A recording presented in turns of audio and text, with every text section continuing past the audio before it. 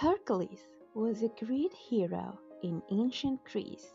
Once he was given an impossible mission to pick the golden apple. An apple? Huh, that easy. But where is this golden apple tree? Hmm? Hercules spent days and days looking for the apple tree, but he couldn't find it. One day, he came across several beautiful goddesses. Hello! Do you know where the golden apple tree is? I hear that the tree is in the holy garden and it's guarded by a giant dragon with 100 heads. 100 heads and 100 mouths. That sounds fun. I may like him and he may like me. Hmm. He may like you as a meal. Nothing can stop me from getting the golden apple. Can you tell me where the holy garden is? Hmm? That's very brave of you. You should ask Achilles.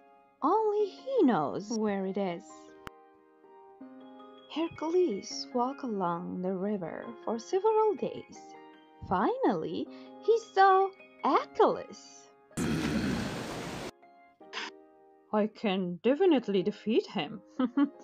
but I have a better idea. Hercules waited until Achilles fell asleep. Finally. oh, what is this? What are you doing to me? Ah, don't worry. I just need to know where the holy garden is. That's it. Huh? I won't tell you. I won't. No way. Hmm. Very well. I'm leaving then. ah, wait a minute.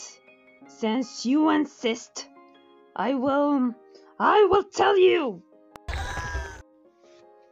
Hercules then took the road Achilles told him. One day he came to a mountain and saw a man chained to a rock. Who are you? And why you are chained? Hmm? I am Prometheus.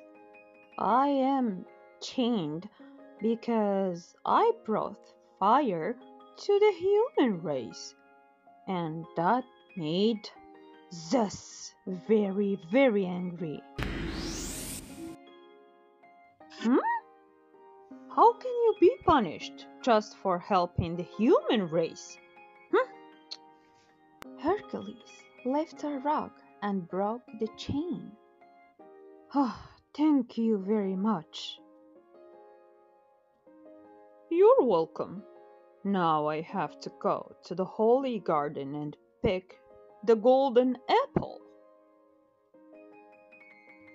The dragon with 100 heads there is very dangerous. You should ask Atlas for help. Thank you for your advice. Hercules asked Atlas if he can help. It's easy for me, but if I go away, the sky will fall. I can carry the sky for you while you get me the golden apple. Can you? it's very heavy. We will see. Not bad. Not bad at all. I will get you the golden apple. Atlas picked the stars from the sky to create a beautiful music. The dragon fell asleep and Atlas picked the golden apple. That was a piece of cake. ah, it feels so good to be free. Atlas, come back with the golden apple. I have the golden apple for you. You should thank me by carrying the sky forever. I can do that, but I need to find a soft cushion for my shoulder. Hmm, okay. I will hold the sky while you get the cushion. You are the perfect one to carry the sky. I have to go now, but thank you anyway. Come back, oh, Hercules! Farewell, Atlas! With his courage and wisdom, Hercules completed the impossible mission.